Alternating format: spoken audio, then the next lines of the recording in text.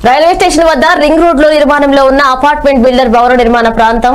వద్ద గత ముప్పై ఐదు సంవత్సరాల చరిత్ర కలిగిన శ్రీ శ్రీ శ్రీ గౌరీ సంపత్ వినాయక ఆలయం ని ఈ రోజు అనగా తెల్లవారుజామున జేసీపీలతో కూల్చివేసి పునాదులను సైతం సుమారు రెండు అడుగుల మేర తవ్వేసి విగ్రహాన్ని పగలగొట్టి క్రషర్ డస్ట్తో పూర్తిగా కప్పేసి యథావిధిగా నిర్మాణ పనులను చేపడుతున్నారు. ఈ విషయాన్ని ఉదయం గమనించిన స్థానిక జన సైనికులు పరచూరి భాస్కర్ రావుకు సమాచారం అందించగా ఆయన వెంటనే స్పందించి ఘటనా స్థలానికి చేరుకుని జరిగిన తీరును తెలుసుకుని ఆలయ స్థల దాతలు విగ్రహ దాతలు మరియు పోలీస్ అధికారులతో తదుపరి చర్యల గురించి మాట్లాడడం జరిగింది.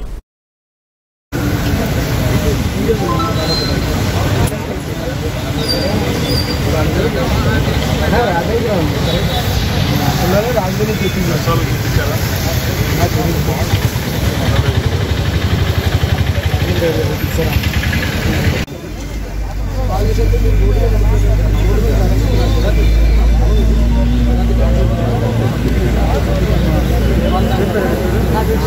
Suresh